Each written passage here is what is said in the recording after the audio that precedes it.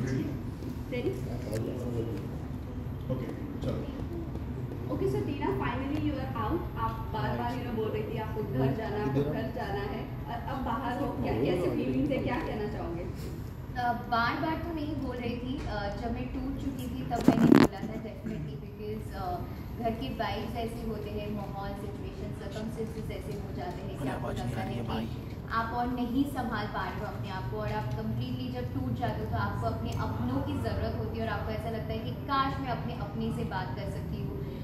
जो कि मैं कोशिश कर रही थी कि मैं बिग बॉस से एक बार अपने, अपनी बातें, अपनी फीलिंग्स इमोशंस की ज़िक्र कर पाऊँ और सबको बता पाऊँ कि वट आई वो गोइंग जो कि नहीं हो पा रहा था।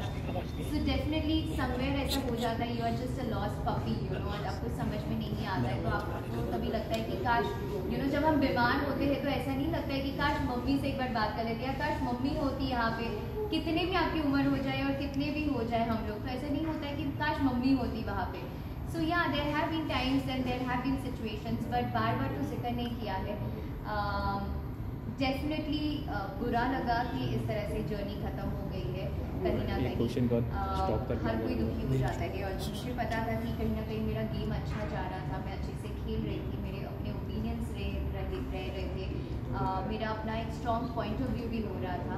सो या आई वॉज़ टीना आ, कहीं ना कहीं आपको हर जगह लोगों ने टारगेट किया है इनसाइड द हाउस चाहे वो एम सी स्टैन ने भी आपके बारे में गलत बोला कि आपकी पॉपुलैरिटी उनकी पॉपुलैरिटी लेकर आप यूज़ कर रहे क्या कहना चाहोगे? लोगों ने आपको कई जगह चाहे वो शालीन हो हर कोई आपको टारगेट किया? See, if you're a woman and if you're in the house, it is a difficult ride for you and it comes with a lot of challenges inside the house, ठीक uh, मुझे genuinely नहीं पता था कि कौन M C stand है। क्या आप में से अगर यहाँ पे 20 लोग खड़े हैं दिल पे हाथ रख के बोलना कि इनमें से कितने लोगों को पता था कि कौन एम सी स्टैंड है?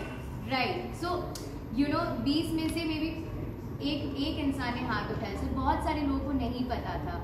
करेक्ट सो मुझे भी नहीं पता था राइट मैंने कुछ में जाने से पहले जब मेरी टीम ने बताया कि कौन कौन जा रहे हैं हम सब अपना देखते कि अच्छा कौन है। तो मैंने कोई अस्सी हज़ार वाला एक वीडियो देखा था and I had no clue about it but मैं डे वन से उनके साथ फ्रेंड्स थी। अगर मेरा कोई इक्वेशन रहता उनके साथ या मेरा ऐसा था कि मुझे उनको यूज़ करना था तो I would have stuck around right लेकिन मुझे ये पता होना था मुझे ये पता होने के बावजूद भी कि M C stand too much of distraction sorry ji. Okay ma'am Shaleen ने आपकी इमेज काफ़ी ख़राब की आपने ऑलरेडी उनके लिए काफ़ी कुछ किया इनसाइड द चिकन हो। हर वक्त आप उनको सपोर्ट करती लेकिन शालीन ने आपकी इमेज को डिस्ट्रॉय करने की कोशिश की। क्या कहना चाहिए और वो ऑलरेडी ही बहुत कुछ आपको डांटा उन्होंने शाउट किया इनसाइड स्टिल यू शालीन के लिए आपने सॉफ्ट कॉर्नर रखा। क्यों आपने रखा? वो काफ़ी बदतमीज़ी से आपके कई बार उन्होंने बात किया आपसे। सी क्या होता है ना मैं uh, उस इंसान को घर के अंदर जानी और uh, मैंने उनके साथ दोस्ती की और uh, हमेशा उनका ध्यान रखा उनका चिकन बोलो या हर चीज़ में शुरू में एंड जब मैं धीरे धीरे उनके साथ और टाइम स्पेंड करने लगी तो मुझे पता चला that you know he is a manipulator और बहुत ज़्यादा अग्रेशन दिखा रहा था चीज़ों को लात मार के फेंक हम्म। या मेरे ऊपर चार्ज करके आना you know he was on the verge of hitting me और ये इंस्टेंसेस एक बार नहीं, कई बार हुआ। तो आप एक बार बेनिफिट ऑफ़ डाउट देते, दो बार बेनिफिट ऑफ़ डाउट देते, जब इंसान सामने से आपको सॉरी बोल रहे हैं साजिद जी के पास जा रहे हैं कि हमारा सुलह करा दो, हमारा पैचअप करा दो यू नो हमारी दोस्ती करा दो आई मिस सर और वट तो मैं ऐसा इंसान हूँ जो मैं एक्सट्रीमली इमोशनल होती हूँ और मैं अपने दोस्तों को या अपनों को चांसेस देती हूँ और एक बेनिफिट ऑफ़ डाउट देती हूँ और जब सॉरी बोलते तो मुझे ऐसा लगता है कि कोई भी इंसान हम में से कोई भी परफेक्ट नहीं है। कोई भी यहाँ पे नहीं बोल सकते कि मैंने कभी जीवन में कोई भी गलती नहीं की है।